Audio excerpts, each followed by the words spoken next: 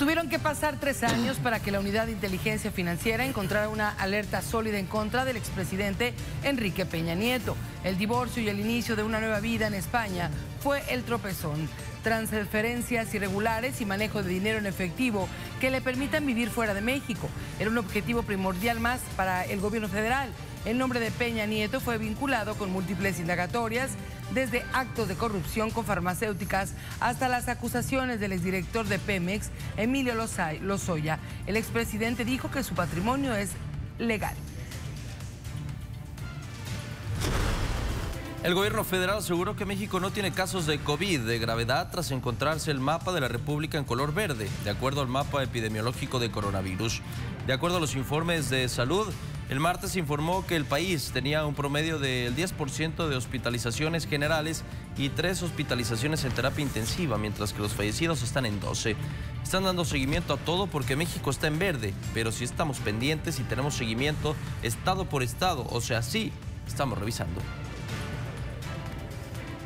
Esto es Telediario al Minuto en información local. Murió a los 84 años el ex gobernador de Durango, José Ramírez Gamero, personaje del ámbito público y político, por lo que funcionarios ofrecieron condolencias a su familia. Falleció por causas naturales en la capital de Durango, en el marco de los festejos del aniversario de la ciudad. Fue un académico docente, político y asesor destacado a lo largo de su trayectoria como profesionista.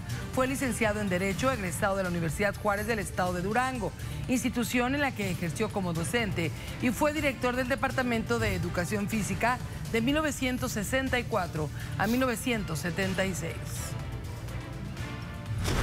El alcalde de Torreón, Román Cepeda, dio a conocer que están por concluir los estudios técnicos para tomar una decisión sobre la petición de los concesionarios del transporte sobre el incremento de las tarifas del servicio público. Adelantó que será necesario negociar para encontrar un punto de equilibrio a fin de afectar lo menos posible la economía de las familias que son parte del público usuario. El pasado martes, concesionarios del transporte en Torreón solicitaron a la autoridad municipal un incremento de los 13 a los 17 pesos por viaje y 11 pesos con tarjeta y preferencial.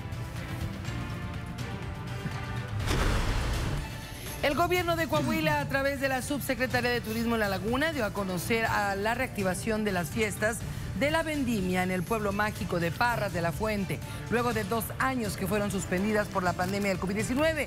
María Eugenia Villarreal, titular de la subsecretaría en la comarca lagunera de Coahuila, explicó que la temporada comienza el 9 de julio con la gran vendimia en el Rincón del Montero, concluyendo el 3 de septiembre con la vendimia de Villados Don Leo. Esperan alrededor de 60 mil visitantes de rama general de 100 millones de pesos.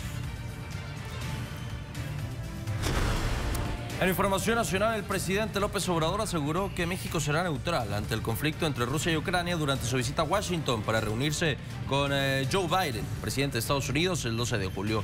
Aseguró que el gobierno de Biden es respetuoso con la soberanía de México. El mandatario señaló que la postura de México va a ser la misma. Nosotros no tomamos partido en esa guerra. Lo que queremos es que lleguen a un acuerdo y que haya una solución pacífica porque las guerras solo producen sufrimiento.